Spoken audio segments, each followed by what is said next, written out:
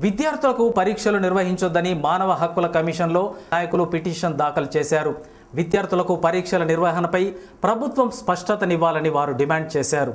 Corona విపత్కర పరిస్థితుల్లో విద్యార్థులకు పరీక్షలు నిర్వహించవద్దని ఎన్ఎస్యుఐ రాష్ట్ర మానవ హక్కుల కమిషన్లో పిటిషన్ దాఖలు చేసింది. రాష్ట్రంలో పరీక్షలు పెడతారో లేదో అన్న అయోమయంలో విద్యార్థులు ఉన్నారని ఈ విషయంలో ముఖ్యమంత్రి కేసీఆర్ విద్యార్థులకు స్పష్టమైన వైఖరి ప్రకటించకుండా వ్యవహరిస్తున్నారని ఎన్ఎస్యుఐ రాష్ట్ర అధ్యక్షుడు వెంకట్ కమిషన్కు వివరించారు.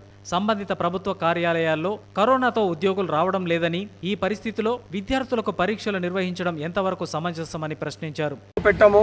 అని చెప్పని గత మూడు నాలుగు నెలలుగా ఎగ్జామ్స్ పెడతారో పెట్టరో అని విద్యార్థులు విద్యార్థుల తల్లిదండ్రులు అయోమయ పరిస్థితి గురవుతున్నారు ఈ యొక్క పరిస్థితిని విద్యార్థులు వారి యొక్క ఆవేదనని నేషనల్ హ్యూమన్ రైట్స్ కమిషన్కి ఆల్రెడీ మెయిల్ ద్వారా పెట్టడం జరిగింది.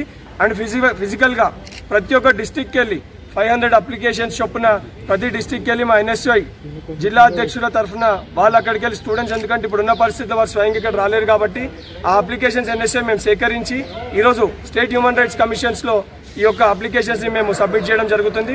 కనీసం ఎందుకంటే ప్రతి ఒక్క విద్యార్థికి చదువుకునే హక్కు దానితో పాటు బ్రతికే హక్కు అవి మన బేసిక్ రైట్స్. ఈరోజు ఈ కరోనా సమయంలో ఆఫీసర్స్ అదేవిధంగా కోర్టే వర్చువల్గా నడుస్తున్న సమయంలో విద్యార్థులకు ఎగ్జామ్ కండక్ట్ చేస్తే మా ప్రాణాలు తప్పనిసరిగా మా ప్రాణాలు అపాయంలో పెట్టినట్టుంటుందని విద్యార్థులు భావించి జీవించే హక్కు విద్య ప్రతి ఒక్క విద్యార్థికి ఉంది.